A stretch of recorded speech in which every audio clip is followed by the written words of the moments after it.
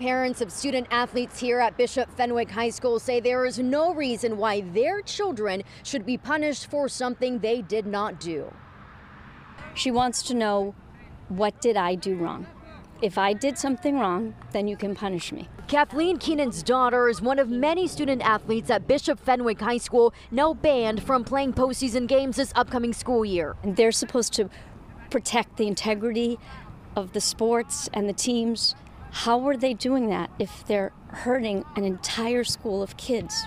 On Monday, the Massachusetts Interscholastic Athletic Association voted to uphold its June ruling of banning the school's 24 varsity sports teams from competing in the postseason, leaving parents frustrated. They shouldn't be punishing the students. They should allow them, allow them to play, allow them to play in tournaments. The penalty stems from MIAA rule violations, including errors on a fifth year senior waiver application for a baseball player and a seventh grade transfer student displacing a senior on a sports team. According to the school, neither student played in any games and appealed to the ruling. In a letter sent to Bishop Fenwick, the MIAA states the board unanimously decided that the penalty should remain unchanged because Bishop Fenwick's response does not acknowledge the multiple manifestations of its prior misconduct.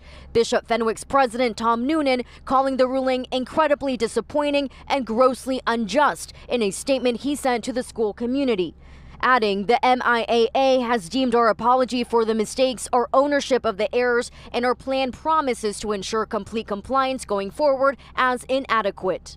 If they think that the adults did something wrong, punish the adults.